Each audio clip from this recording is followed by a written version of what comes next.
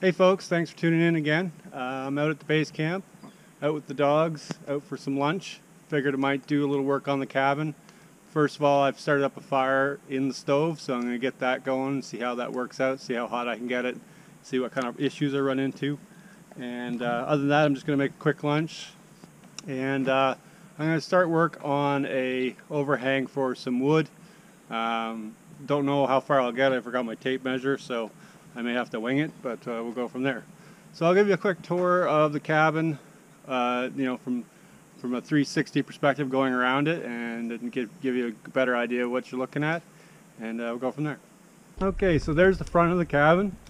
Uh, as you can see, I put a little window in, uh, and the porch there. It's not working horribly great when it rains, but it's keeping it off the main porch, but the dirt's bouncing back in, so i have to think of some sort of gutter gunnel type thing. I don't know. I'm not even sure what I'm going to put in uh, to uh, subvert some of the water out of the way.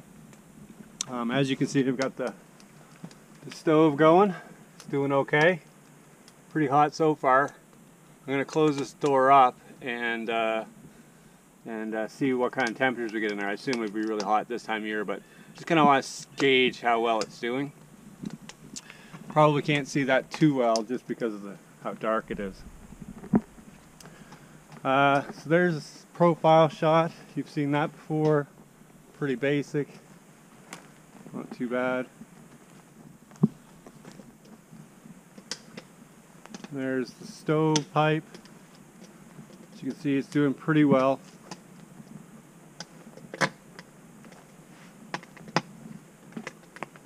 And that caulking's holding up really well so far, and I got that thing blazing right now, so should be interesting liking it.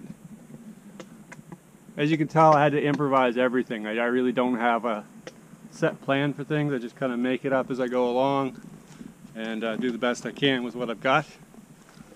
And there's the other side. So she's not very big.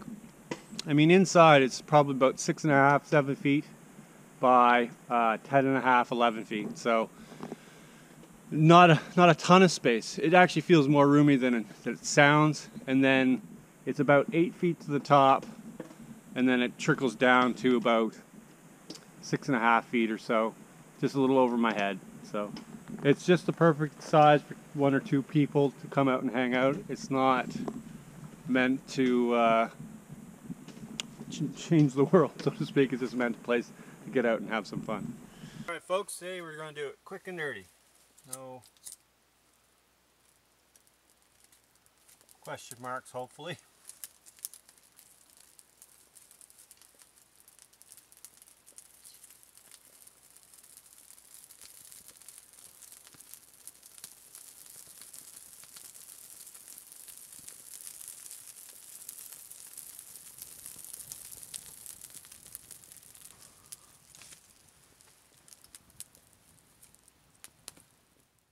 so we're going to cut up a few vegetables real quick here. Don't need a lot.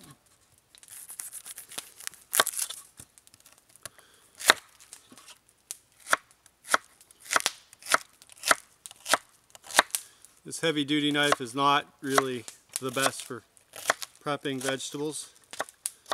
I mean when it's sharp it's great but it's still not ideal.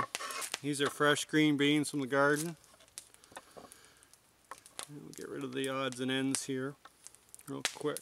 We're going to have to fry these in some butter for a little while just to soften them up because they're they're fresh so they're super green they're super stiff if you will so we're going to fry them up for a little bit throw in the onions and some remaining onions and things from the other day that I brought with me then the tuna and then the rice all that there and then we got that as well some lettuce and peppers and things like that. And new special. And then that guy as well. Just a little can of tuna. Actually, you can't read that, I suppose. A little can of tuna and olive oil, which is great because the olive oil adds to it so it doesn't uh, let anything burn. Don't need a lot because we're going to have some olive oil there, but I like butter, so let's put a fair bit on there.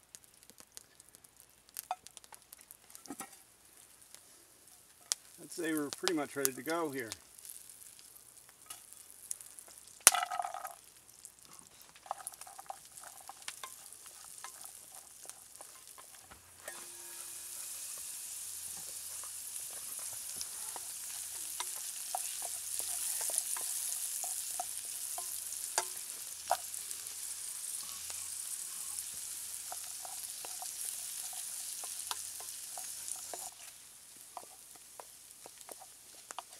Okay, let's add the tuna in. Get that started.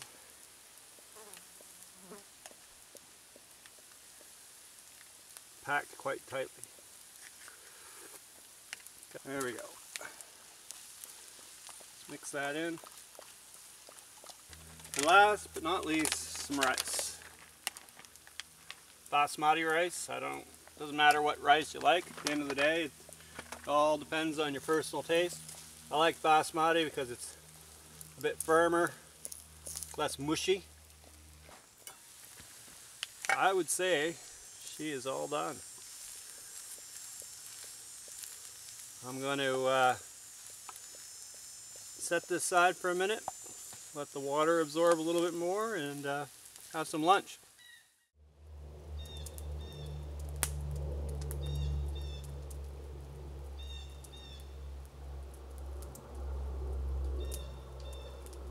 Looks like everything's going pretty good in the cabin.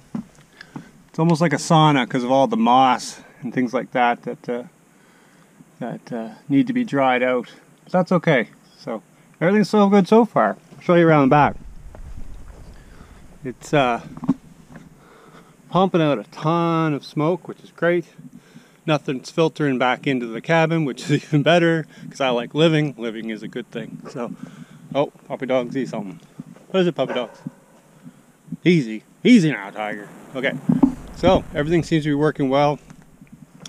This is heating up quite a bit. You can see that's changing color there. But it's holding, which is what I really hope for. My girlfriend did this. She pasted it all on for me. Much better job than I would do.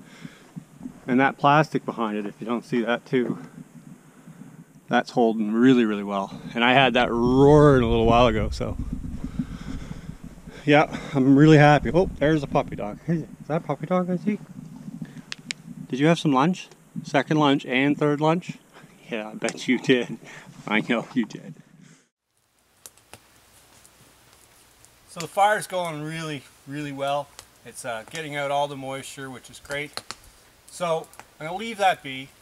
I'm done eating. I think I'll go get collect some rocks, some sandstone rocks, and uh, use that to line my fire pit out there I've been wanting to do that for a little while now because it's a little susceptible to wind.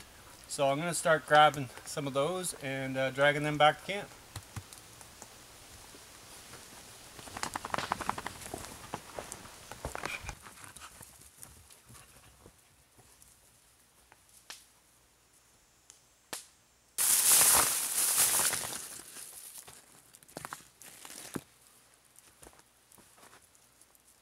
All I'm really trying to do is just create an extra little barrier. So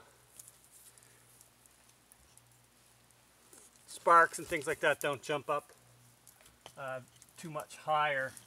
Or sorry sparks don't uh, jump onto the ground far away. It gives it a little extra buffer. So I'm going to see if I can use some of the more flat rocks as a bit of more of a foundation kind of build up from there.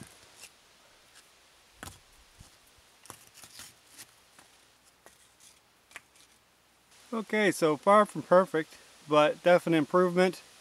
Should give a little defilé from the ground around it uh, so the sparks don't uh, jump up too easily and that was my whole goal.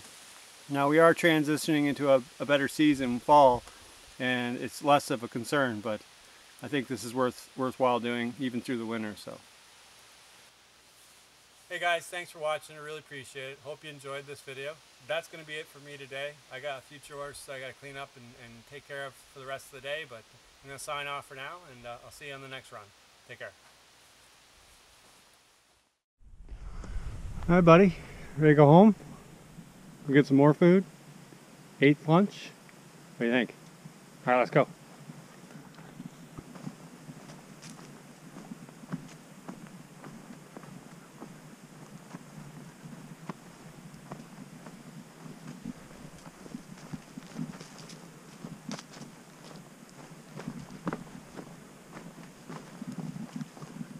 What are you doing, buddy?